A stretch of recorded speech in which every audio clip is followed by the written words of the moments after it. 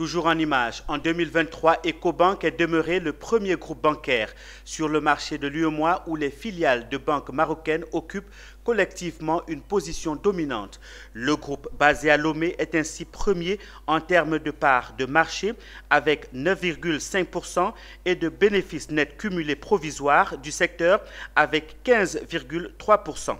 La position d'EcoBank est renforcée par sa filiale ivoirienne qui occupait Fin 2023, la troisième position en termes de ressources dépôts collectés et figurait dans le top 5 pour le total de bilan et les crédits accordés à la clientèle. C'est avec cette information en